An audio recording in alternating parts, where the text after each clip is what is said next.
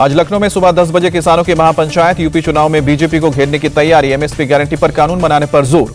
लखनऊ में बंगला बाज़ार में किसान महापंचायत का होगा आयोजन, राकेश टिकैत की अपील, अधिक से अधिक संख्या में पहुँचे किसान। महापंचायत में एमएसपी गारंटी कानून के अलावा केंद्रीय गृह राज्य मंत्री की बर्खास्तगी का सवाल उठा। किसानों की समस्याओं के साथ महँगाई के मुद्दे पर भी महापंचायत में होगी चर्चा। कल संयुक्त किसान मोर्चा ने पीएम मोदी को ओपन लेटर लिखा, छह डिमांड भी रखी। आंदोलन पर बैठे किसानों की छह डिमांड, तीन पुरानी और तीन आंदोलन के दौरान घटनाओं को लेकर रखी। किसानों की डिमांड है एमएसपी पर कानून बनाए सरकार, इसके बाद बिजली संशोधन एक्ट को वापस ले। किसानों की तीसरी मांग है कि एनसीआर में एयर क्वालिटी अध्यादेश में किसानों को सजा देने का प्रावधान हटे। किसानों ने डिमांड की है कि इस आंदोलन के दौरान किसानों पर मुकदमे जो दर्ज हुए उसे वापस लिए जाए। अगली मांग है कि हकीमपुर खीरी हत्याकांड में आरोपी पिता और मंत्री अजय मिश्रा टेनी को बर्खास्त किया जाए। किसानों की छठी मांग है कि अंतिम मांग आंदोलन के दौरान शहीद हुए 700 किसान परिवारों को मुआवजा दिया जाए। दिल्ली के बॉर्डर से फ़िलहाल नहीं हटेंगे किसान। मोदी कैबिनेट की बैठक से पहले संयुक्त किसान मोर्चा ने नहीं करेगा कोई ऐलान। 27 नवंबर को अगली बैठक। 24 नवंबर को केंद्रीय मंत्रिमंडल की बैठक। तीन कृषि कानूनों को वापस लेने के विधेयक को मिल सकती है मंजूरी। कांग्रेस नेता राहुल गांधी का तंज, किसान पीएम की बात पर विश्वास करने को तैयार नहीं। राजस्थान कैबिनेट विस्तार के बाद भी खत्म नहीं हुआ राजस्थान कांग्रेस का कलह। नाराज़ एमएलए ने सीएम गहलोत को लिखी चिट्ठी, पूछा कौन सी काबिलियत हासिल करे ताकि मंत्री बन सके। पायलट का नाम लिए बिना सीएम अशोक गहलोत बोले धैर्य रखने पर सबको हक मिलता है। राजस्थान के कैबिनेट मंत्री रमेश मीना का बयान, पूरे राजस्थान को प्रतिनिधित्व मिला, फेरबदल में से कांग्रेस को फ़ायदा। कल राजस्थान में गहलोत मंत्रिमंडल का विस्तार हुआ 11 कैबिनेट मंत्री और चार राज्य मंत्रियों ने शपथ ली।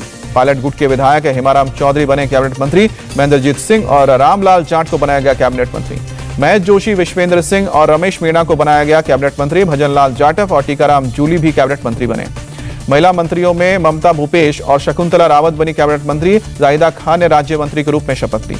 सीएम अशोक गहलोत का बयान, जो लोग मंत्री नहीं बन पाए हैं, उनकी अहमियत कम नहीं हुई है। छह विधायक बने सीएम गहलोत के सलाहकार, जितेंद्र सिंह, बाबूलाल नागर और राजकुमार शर्मा बने सलाहकार। अमेरिकी राष्ट्रपति के समिट फॉर डेमोक्रेसी में भाग लेने के लिए पीएम मोदी को न्योता। केंद्रीय गृह मंत्री अमित शाह आज मणिपुर में आदिवासी स्वतंत्रता सेनानी संग्रहालय की आधारशिला रखेंगे। वीडियो कॉन्फ्रेंसिंग के ज़रिए कार्यक्रम में शामिल होंगे अमित शाह, जनजातीय मामलों के मंत्री अर्जुन मुंडा और मणिपुर के सीएम भी रहेंगे मौजूद। जनजातीय मामलों के मंत्रालय ने परियोजना के लिए पंद्रह करोड़ रुपए मंजूर किए हैं। बीजेपी अध्यक्ष जेपी नड्डा का आज से यूपी का दो दिन का दौरा, संगठन की बैठक में हिस्सा लेंगे। गोरखपुर, कानपुर में बूथ अध्यक्ष सम्मेलन को संबोधित करेंगे, दोपहर साढ़े बारह बजे गोरखपुर के गोरक्षनाथ मंदिर भी पहुँचेंगे। नड्डा, कानपुर में क्षेत्रीय कार्यालय के साथ सात जिलों के जिला कार्यालयों का भी ऑनलाइन उद्घाटन करेंगे। स्वास्थ्य मंत्री मनसुख मंडाविया कोरोना टीकाकरण को लेकर करेंगे समीक्षा बैठक। वैक्सीनेशन पर मणिपुर, मेघालय, नागालैंड और पुडुचेरी से बात करेंगे। मणिपुर, मेघालय, नागालैंड, पुडुचेरी में कोरोना के टीके की रफ्तार कम। सत्तर परसेंट से भी कम लोगों को टीके लगे हैं। सरकार ने महीने भर चलने वाली हर घर दस्तक मुहिम शुरू की है, जिसमें लोगों को घर घर जाकर टीका लगाया जाएगा। एमपी के सीएम शिवराज सिंह चौहान का बयान, हमने फैसला किया है कि भोपाल और इंदौर में पुलिस कमिश्नरेट सिस्टम लागू होगा। शिवराज ने कहा कि पुलिस अच्छा काम कर रही है, लेकिन शहरी जनसंख्या बढ़ने से कानून व्यवस्था की नई समस्या भी पैदा हो रही है। आज से 25 नवंबर तक दिल्ली में रहेंगी ममता बनर्जी। संसद के शीतकालीन सत्र से पहले विपक्ष के नेताओं के साथ मुलाकात करेंगी। दिल्ली दौरे पर ममता पीएम मोदी से भी मुलाकात कर सकती है। केंद्र से पेंडिंग फंडिंग, कोरोना वैक्सीन की आपूर्ति पर बात कर सकती हैं।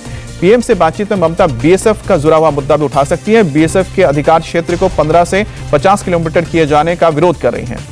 त्रिपुरा के मुद्दे को दिल्ली में उठाने की तैयारी, शीतकालीन सत्र के लिए विपक्ष के नेताओं को इस मुद्दे पर लामबंद करेंगी ममता बनर्जी।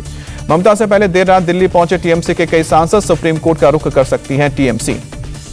त्रिपुरा पुलिस ने टीएमसी नेता शाइनी घोष को गिरफ़्तार किया, उन पर हत्या की कोशिश का केस दर्ज हुआ है। टीएमसी ने त्रिपुरा में तानाशाही का आरोप लगाया, कहा कि आवाज़ उठाने जा रहे अभिषेक बैनर्जी को इजाज़त नहीं मिली। आज त्रिपुरा पहुँचेंगे अभिषेक बैनर्जी। आज पंजाब के मोगा से चुनावी बिगुल फूकेंगे अरविंद केजरीवाल, सीएम फेस की घोषणा भी कर सकते हैं। मोगा और लुधियाना में पार्टी के कार्यक्रम में लेंगे हिस्सा। कल अमृतसर में पार्टी के कार्यकर्ताओं से मिलेंगे।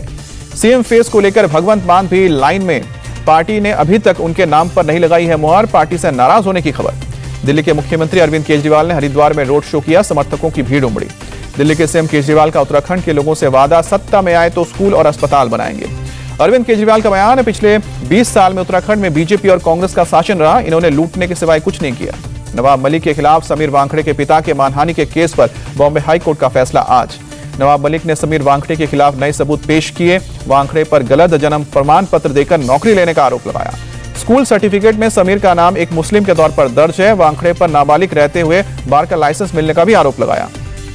दिल्ली की आबो हवा अब भी खराब। एयर क्वालिटी इंडेक्स तीन सौ उनचास पर।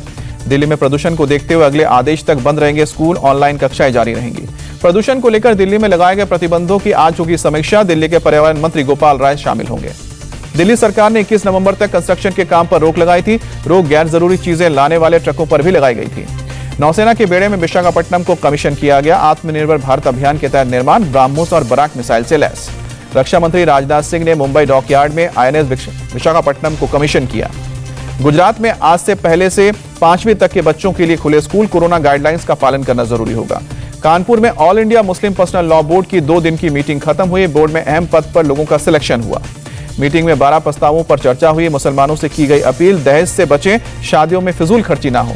मौलाना सैफुल्ला रहमानी का बयान, धार्मिक मामलों पर टिप्पणी करने वालों पर हो एक्शन सरकार बनाए कानून। मऊ में मुख्तार अंसारी के सहयोगी और माफिया सुरेश सिंह की एक करोड़ बयासी लाख की प्रॉपर्टी जब्त की गई, जिलाधिकारी के आदेश पर की गई।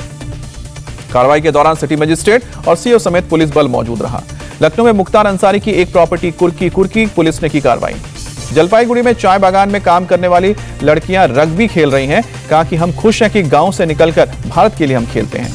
एक खिलाड़ी ने बताया कि हम अब तक स्टेट क्लब समेत काफ़ी मैच खेल चुके हैं, हमने दो इंटरनेशनल मैच भी खेले हैं। कानपुर नगर में जीका वायरस के अब तक कुल एक सौ उनतालीस नए मामले सामने आए हैं, जिसमें से एक तो तेईस मामले नेगेटिव हैं, मुख्य चिकित्सा अधिकारी ने जानकारी दी है। मथुरा में यमुना एक्सप्रेसवे पर लगा ट्रैफ़िक जाम, लोगों को परेशानी का सामना करना पड़ा। आज बयासी साल के हुए मुलायम सिंह यादव, जोश में समाजवादी पार्टी के कार्यकर्ता, सादगी से जन्मदिन मनाने की तैयारी। देश में कोरोना के दस नए केस सामने आए हैं 24 घंटे में 313 लोगों ने दम तोड़ा है। महाराष्ट्र में कोरोना के 845 नए केस 730 मरीज़ ठीक हुए। मुंबई में कोरोना के 213 नए मामले सामने आए हैं और दो सौ इक्यासी लोग रिकवर हुए हैं। बीते 24 घंटे में तीन लोगों की मौत हुई है। केरल में कोरोना के 5000 से ज़्यादा मामले सामने आए। करीब 8000 मरीज़ ठीक हुए हैं। दिल्ली में कोरोना के उनतीस नए केस सामने आए। 24 घंटे में 45 मरीज़ रिकवर हुए। गाजियाबाद में सात गौ तस्करों को पकड़वाने पर भड़के समाजवादी पार्टी के विधायक, बीजेपी एमएलए को धमकी भी दी। धमकी का वीडियो वायरल हुआ। पुलिस ने एसपी विधायक असलम चौधरी के खिलाफ एफआईआर दर्ज की। बिहार के हाजीपुर रेलवे स्टेशन पर लूटपाट के दौरान ट्रेन से नीचे गिरने से लड़की घायल, ज्वेलरी और मोबाइल लेकर भागे लड़के।